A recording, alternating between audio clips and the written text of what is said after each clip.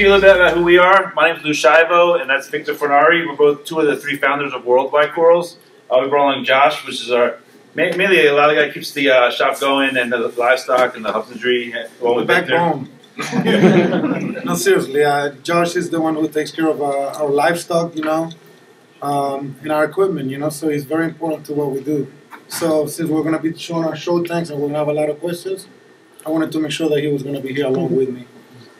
Um, we were established in 2006. Uh, we opened our doors in July of 15, 2007. Um, so we've been open a little bit over 10 years. We just celebrated our 10 year anniversary uh, last year, which is a huge milestone for us to be in business for 10 years. Um, in the same location, in the same retail location in Orlando, Florida. So yes, we are kind of like cold and you know get acclimated to the, uh, the Colorado weather. But um, it's been fun. It's a nice change. You know, it's getting hot in Florida already, so we were kind of uh, happy to get out for the weekend. Yes. Um, so in Florida, it's a little different. We are actually a state certified aquaculture facility. What happens every year, they come out and they inspect our property, making sure we're staying up with the best practices and procedures. What they set forth, they have a manual we had to go over when we first opened up. And check us out, make sure we're not dumping water and, and kind of messing with the environment and stuff like that. So we're, we're bound by them. Um, mainly today, we're going to talk a little about what we do and um, who we are and, you know, our show tanks mainly. The first tank we're going to talk about is our 500 gallon tank in our showroom. And then Victor's going to give a little bit of information about this tank. Yeah, Go the ahead. picture looks a little saturated because of the screen. Well, this tank has been up for about, uh, I want to say maybe six years old. It's about the dimensions of the tank is uh, 10 feet long, it's uh, three feet deep, and it's uh, 27 inches tall. Um, the light that we're using on this tank is a five Radion generation four lights. Uh, we're using four MP60s. You guys can see on the sides. Um, Right there, yeah. On the bottom, on the back, there's an MP40. And then there's another one in the wall that I don't think this picture really shows somewhere. Yeah. Yeah, there's one over there on that side. So altogether, we're using seven power heads to um, to move flow on this tank. Uh, this tank pretty much houses um, about seven different fish, fish that we have alive for 11 to 12 years. You know, um, we have a big black tang in there. We have a big um, the Regal tang. Uh, it's an empty tank. What else do we have? We have a couple yellow tangs. We have a um, we have a um, black shoulder in there too as well. Yes. So this system, as you guys can see, is uh, run bare bottom. Uh, for those of you guys don't know what bare bottom is, we don't use any substrate. We don't use sand. We don't use crushed coral. Uh, the reason why we do that is um, we believe it allows us to control nutrients better and allows us to um, deliver higher flow to try trying to mimic what happens on the ocean, which is very tough to mimic. And we feel with the use of sand, we can't just just put enough flow to the tanks, you know. Um, this one right here is right next to the um, 500 gallon tank. Uh, do you guys know who Casper is? Oh yeah. for the white tang, Casper the White Tang. Have you guys heard of him? Oh. Uh, Eric right here is sitting back there. He um, there he is. he used to own a company I call uh, Sea Dwelling Creatures. It's a wholesaler company. So he knew that I was after uh, a white tang. I, was- I was actually like, man, I seen videos of a white tang. I need to get one one day. And for some reason, like four months later, he's like, hey, buddy, do you want to see these rare tangs I got? I think I got a white tang. I'm like, what? so Eric over there, he sends me the uh, the fish. This is in this happened in summer of 2010. Yeah. Um, I don't have any small pictures of him. There are some on Reef Builders, right, Jake? You have them. Um, so this fish came, came pretty much translucent. You couldn't even. It was a little thing. It was super clear. It came with another two aberrant tangs. Um, so he's world famous now for the not just because he's white. How long we we had him? Jake has been documenting this fish for. Man, they talk to each other when they. Yeah. The fish gets excited like a little dog. Jake is here. so, yeah, this is uh, we call it Casper Home. Recently, Jake, you made a video of it because Jake came to our facility about three or four months ago. He came in and filmed everything, and he made a video of Casper. So, again, this is Casper Home. It's a 293 gallon tank. Um, you guys see, uh, that's a black Scopas next to him. It's not a regular black tang, but you guys just for coloration purposes, you can see the um, the color that he's got. About um, three years ago, the fish went half yellow for some reason. February 2015. February 2015, and we were kind of panicking. We didn't we changed we didn't change anything on the diet. We didn't change lighting at the time. No flow patterns. Nothing. The fish just magically decided just to go half white and half yellow. And, um, and again, you can find that on Reef Builders. You know, you can see the pictures of him, how it's uh, the evolution of him over the years. You know. You must he almost became the most expensive uh, yellow tang in the world at one point. okay. Um, you guys seen this coral around? Yeah.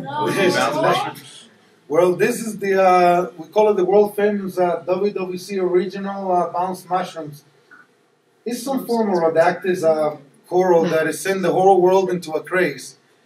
Uh, we have collectors here from Indonesia, such as Vincent. He can tell you that that it changed the way divers uh, collect things. You know, uh, until this mushroom came around and it hit so big and jaw-breaking mushrooms years ago, mushrooms were seen as throw them in the trash. You know, they're they're weedy. They take over your tank. Beginners only. They're for beginners only. You know, and now it just turns out to be that everybody in the whole world is after this mushroom craze because they're easy to care for. And they come in a variety of colors that I keep looking at them every day, and I'm like, man, there's more and more to find every single day. When I think I've seen them all, nope. They keep coming in different colors, different patterns, different sizes. Some of them I've seen one as big as a eight inch diameter. You know, Just- that's how big they open. So mushrooms are not just little things the size of a quarter like we're used to seeing in our in our aquariums. So it's definitely interesting that one mushroom can become so popular. It can do such a thing, you know. Um, this is another coral that is in our 293 gallon uh, tank. It's called the WWC Slimeball, uh, Slimeball Anacropora.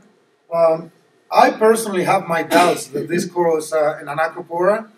It's just too similar to an Acropora digitata. The way, the way it looks, the way I can see the skeleton when the coral dies, the grow patterns. It's just It smells like a Monty. yeah, it smells like a Monty Montipora. You guys are gonna think we're crazy. So we have a controversy going on in the house. Yeah, that's our own controversy, you know. But Yeah. we go as far as like certain corals smell certain way to us, you know, like when we pull them out of bags and right, Vincent? yeah, they have a very particular smell, but uh, it's a coral that is very nice. It's easy to care for. It grows very fast. It's at the top of the the tank on the right hand side. You know, it's pretty cool. We call this legendary because we've been brewing this tank for about three or four years, and it's our biggest tank in house. It's 900 gallons. Uh, this tank is uh, 12 feet long. It's four feet uh, front to back, and it goes 30 inches tall. Uh, it- it's, it's mainly dominated by acroporas. Every single acropora has been documented. We did this uh, build thread on uh, reef2reef.com. You can go into our forums and you can see the, the 900 gallon build thread. And it shows some detail from the time that we built, we put the tank in there, uh, from the time that we put, from the time that we put the filtration, uh, from the time that, that we put every single core that you see in there, it was put as a single fragment. Uh, again, it's documented. You can see every single one how we put them in there. And today it's just growing just furiously. It's just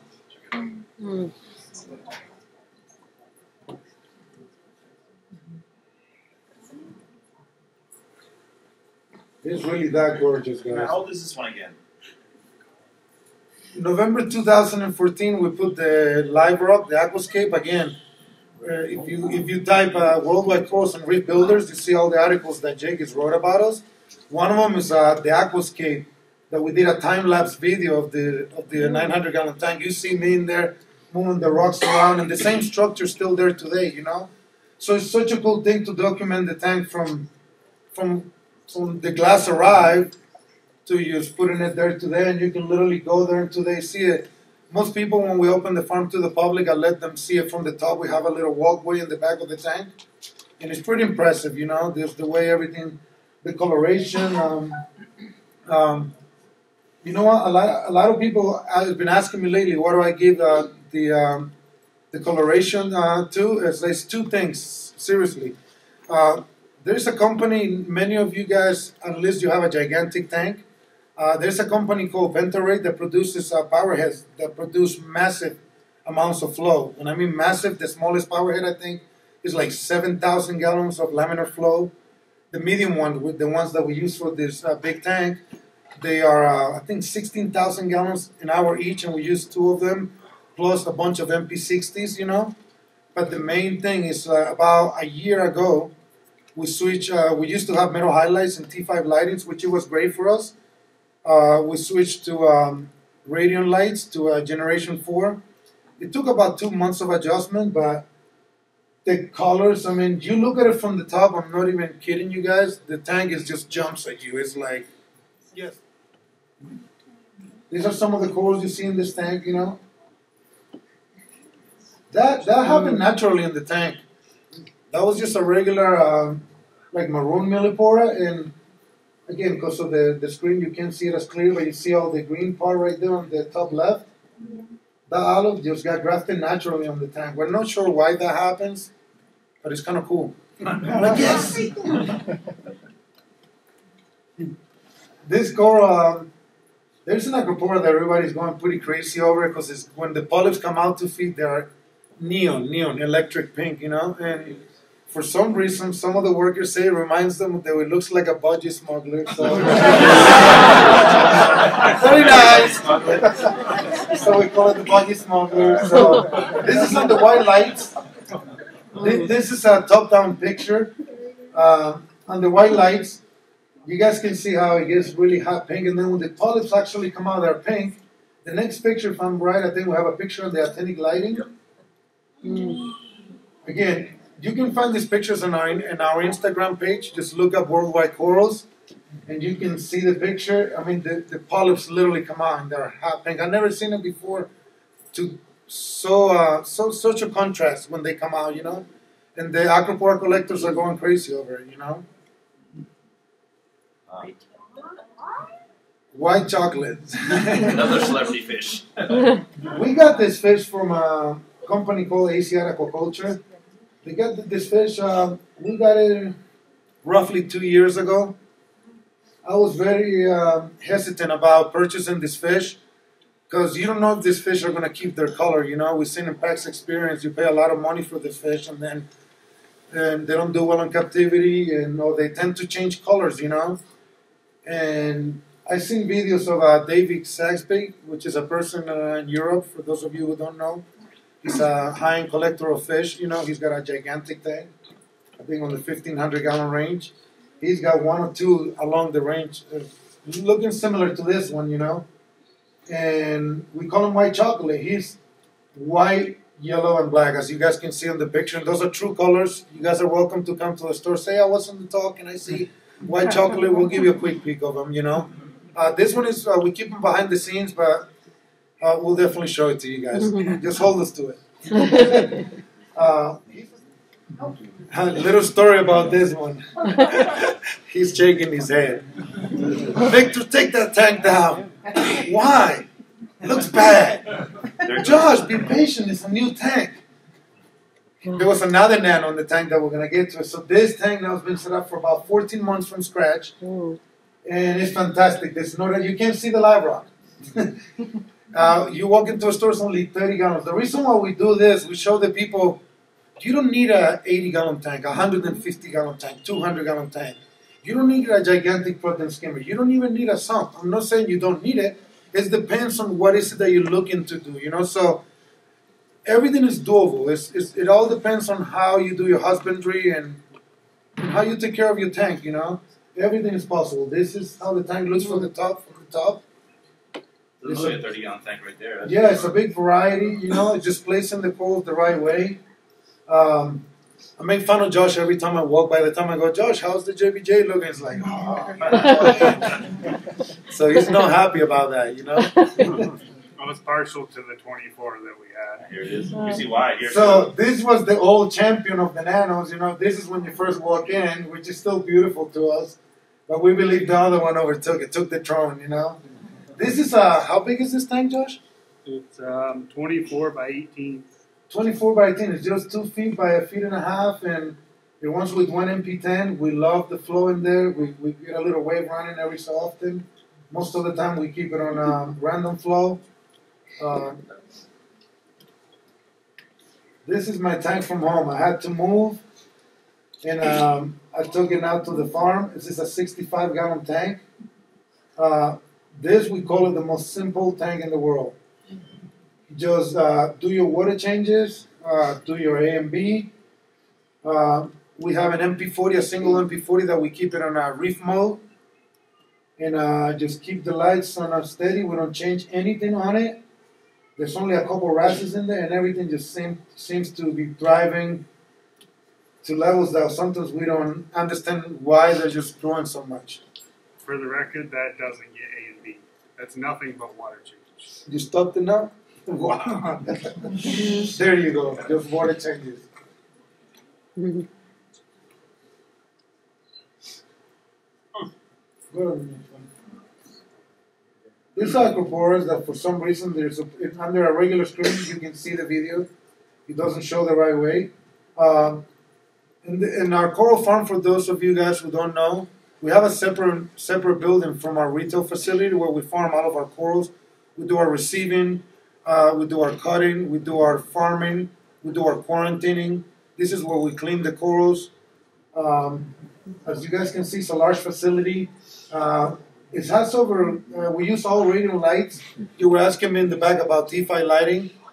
Uh, the entire facility is run by uh, Generation 3 and Generation 4 ra- Radion lighting. Um, the entire facility also is being run by um, Ecotech Marine, Marina MP40 uh, for the flow.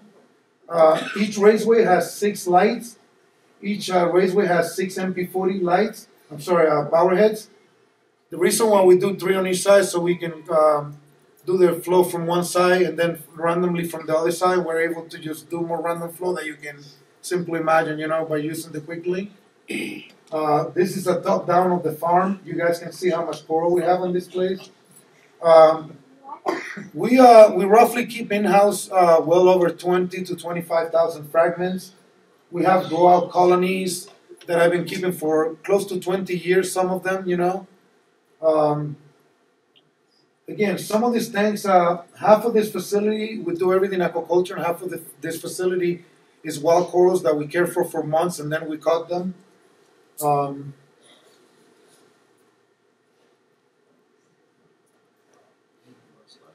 done with this slide? Yep, last one. All right. Do you guys have any questions based on the pictures that you saw?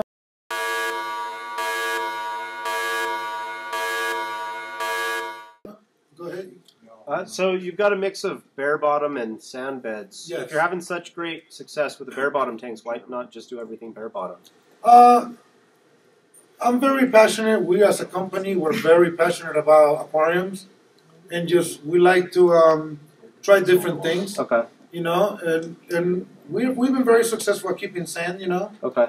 um, no no specific reason. You know, does It goes the same way too, like you were saying before. You can't have everything just the same. You have to have a different flavor. Not everybody wants to have that. Sure. You know, if they want an Ecotech light, they can put an Ecotech light. We also have a small aquarium with a Maxspect on it. Okay. We have a show. We have a small aquarium with a Kessil on it. You know, so a lot of these things work. Okay. You know. What do you run in your sumps? what do we run in our sumps? Uh, most of them we run a protein skimmer, a carbon reactor, and uh, we keep it that basic. We Filter really don't use a lot of things. I'm sorry. Other sides. Filter socks. Thank you. There you go. Good question. On your two bigger tanks, your five hundred or your nine hundred, do you house any wrasses because you have a bare bottom system? You know what? Some of them they're known to uh, go in the sand. We don't.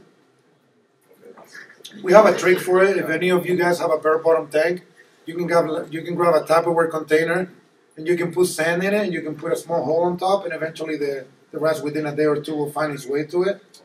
we can, we're talking about the bare bottom tank, and one thing that was fascinating to me about what you guys do is you add that layer of um, starboard, marine board. Talk about starboard a little bit.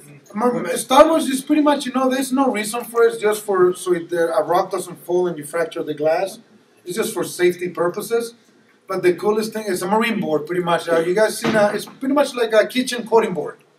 That's the material, boats, pretty much. It is. yeah. It's just kind of can absorb somewhat of a punch. It's very durable. It can take salt water. It doesn't dissolve. Um, the best part of it, again, is like I said earlier, is you can deliver tons of flow and uh, you can grow corals actually in it. So if you look at a lot of our pictures, if you find them online and you look from the top down, you see corals even on the bottom. You can grow encrusted montiporas. You can do anything, anything that encrusts, anything that grows. If it grows, you can put it there. The same way you would put on a on a rug or on the back wall, you can do it on the floor. So it's just extra real estate, you know. And I'd rather look at more coral than just look at sand. But I like sometimes the, the look of sand when you can leave some open space for open static. So I'm able to appreciate that as well. You guys feed the tanks? Uh, Yes, yes, we do. We call ourselves very aggressive feeders. Uh, one of the things that we do is uh, we personally feed our tanks once a week, reef roids. You know, from our collection. You know, they're just especially when they, we first get them to get them to take off. We see great results. Uh, any most of you guys seen videos when you get a coral and you feed them how the tentacles come out, and you'll be surprised the results that you see. Don't forget that corals are animals. You know, they have a mouth, they have a digestive system. You know, so they need nutrients, you know. Um, one things we were talking earlier reg- regarding with food, we run bare bottom tanks. Regarding with bare bottom tanks, if we don't feed multiple times a day, we notice our corals go pale. Just the nutrients very easy to keep your nutrients low because what happened is all the waste from the fish tanks, you know, when you run bare bottom, you're able to see it just sitting there as a pile of dirt. So you just grab a hose and you get it out. When you have sand, the dirt mixes with the sand, and you're you're like you think it's clean, but it's not so clean, and then just things like that happen, you know. But that's why we prefer to run bare bottom, and that's why we have to feed so many times. One thing regarding feeding, since you asked, I recommend when you feed, one rule of thumb: make sure everything gets consumed. You can feed more than once a day, as long as you follow that rule. If you're feeding and any any amount of food is going down the drain, any amount of food hits the bottom, and the fish look like they're too busy catching the other food, you're feeding too much, you're gonna fail on this hobby. So it's important that you you know that you know. Anybody else? Any questions? Do you run any type of um, refugium or phosphate? Uh, we don't run refugiums. I've seen great tanks in the past with that. I just feel like it's just so much more maintenance that you have to do, and with today's equipment, protein skimmers are so strong nowadays that you have to turn them turn them down sometimes. We've seen ourselves sometimes just turning turning them off for a weekend, for a week, just because we're seeing everything just too clean, too sterile. You know. But you can too clean it. Yes, I was told yes, you can. If you skimmers, if you're doing too many water changes, if you're you're scraping every piece of algae and you're changing this, and, and yes, you need you need you need some sort of dirt in the tank. You know that's why you need live rock and things like that. It's very very important. You know. Yes, So on the 500 and 900, are you doing A and B or a reactor? we're doing a calcium reactor on both of those. And the 200 and, and I know they're going to get thirsty at uh, our elevation. And the 200 and- We're thirsty too. the 200 In the uh, 293 gallon, we're running A and B right now. So how much does that tank chew up each day? Oh my gosh, 90 and 90 ml a day. It is 293. It's like 145 mils. Basically. Yeah, you know what That's I'm doing. twice a day. That's twice a day, so roughly 300. Basically. Wow. But the tank just grows and grows and grows, you know. Um, it's a lot of stony corals, you know, versus soft. So it makes a big difference. And so you're dosing magnesium in that too. On, yes, you have to. In order, Right. if you want to keep your levels of A and B up, you have to keep. So are you My- dosing that daily? We The- buffer the salt water. Oh, So when we do a water change, we'll actually add an elevated amount of calcium and magnesium, which will dilute itself into the system. Um, but that prevents us from having to add more calcium and magnesium while it's running. Gotcha. Very important that you keep. I, I would say magnesium is just as important, if not more important, than the A and B. Because if you don't have your magnesium levels correct, you will have a hard time maintaining um, calcium and alkalinity. It's, it's often under taught, you know. Everybody's oh calcium and alkalinity, calcium and alkalinity. You know. So on those tanks that you're maintaining with water changes, what's your water change schedule? You know what? Um, some vary, you know, depending on, on, on the water testing, but usually we aim for like every two weeks we try to. And like twenty percent every two weeks? Ten percent. Ten percent. Ten percent. If we see an issue then we might jump into weekly. Sometimes we might see a tank that we've been doing it every two weeks. Uh, and you don't have to again, like I was saying earlier, have a have some sort of understanding with what's going on with your um, Tank.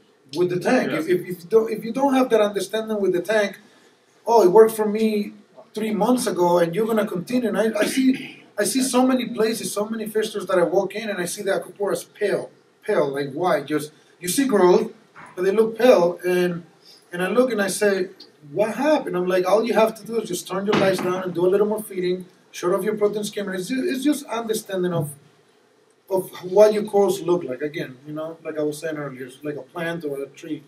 Get to know your tank, you know, by looking at it over time, you know, you identify it's doing well, the color's good, you look healthy. Something happened since last night. It's pretty basic. Yeah. Too often, I think that there's a general misconception that there's a certain guideline that you have to follow in order to keep a coral colorful.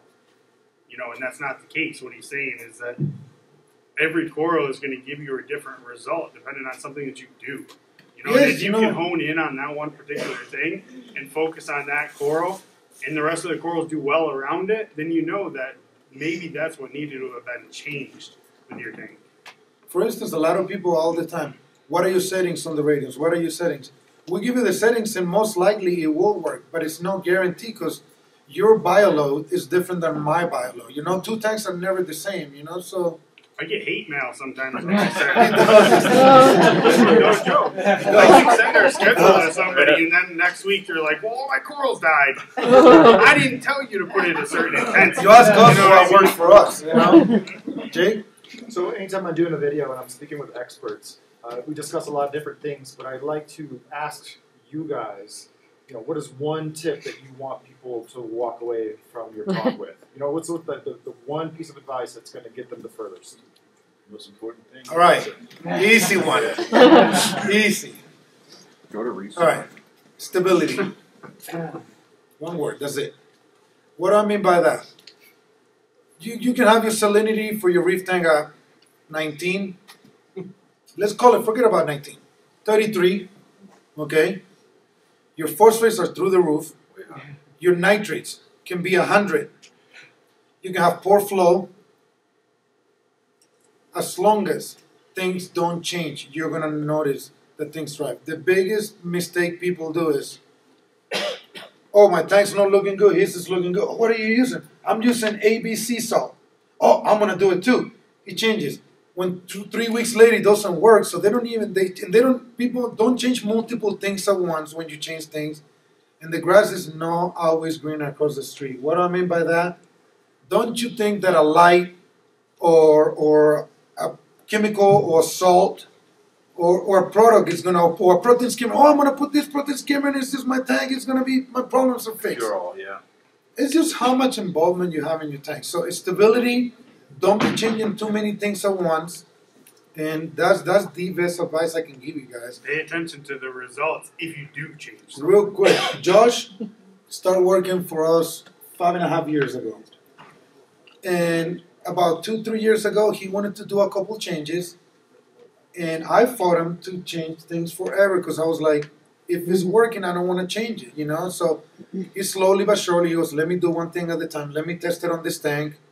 And as long as you do it slowly, if you change your salt tomorrow, wait two or three months. But don't change your salt and expect better results if you're not going to be observing your tank, you know? So you have to understand what you're looking for. Are you looking, do, do you understand your tank before you change your salt?